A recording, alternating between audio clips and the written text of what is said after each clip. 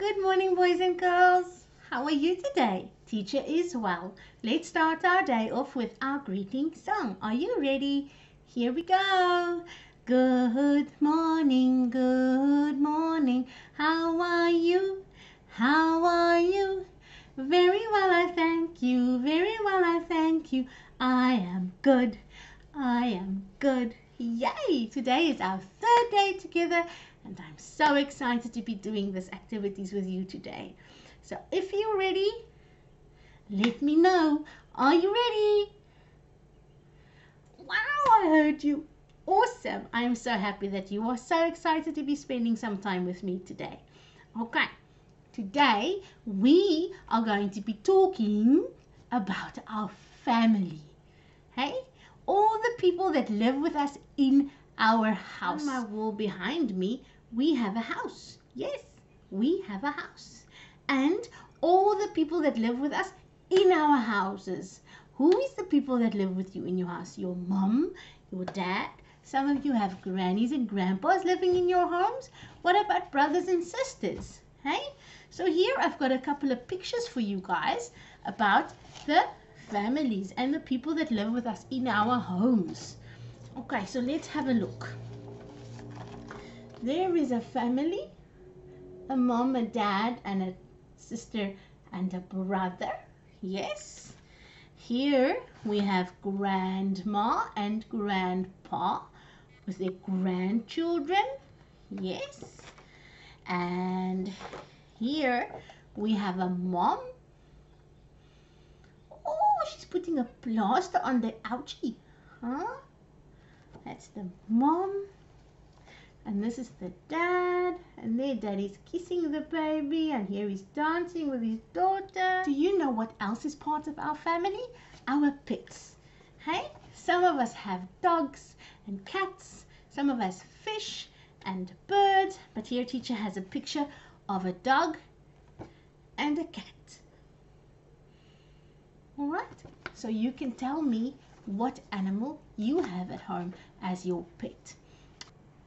Today we are going to be doing a little bit of a math activity. Okay?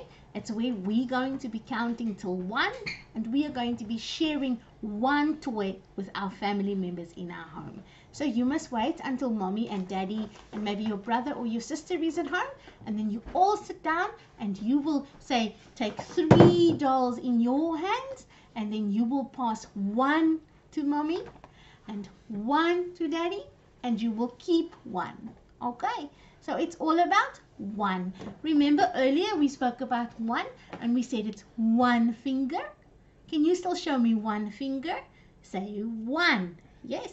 So remember you keep one you give one to mommy and you give one to daddy okay? So it's one one one today. Okay, one. And remember, here is our picture of our number one. So that's one finger and number one. Here on my wall, I have number one and one pencil. Okay, so it's all about one today. And remember, you are special and there's only one of you. Yes, there's only one person that looks like you and that is very special like you are. Okay. And today, for our last activity day, we are going to be building towers, right, with our blocks. If you have wooden blocks at home, you can do that. If you have Lego blocks at home, you can do that. If not, then you can even use toilet rolls to build a tower. Can you see? So we're going to start with one at the bottom and we're going to put another one on top. And then another one. Can you see? Teacher is building a tower.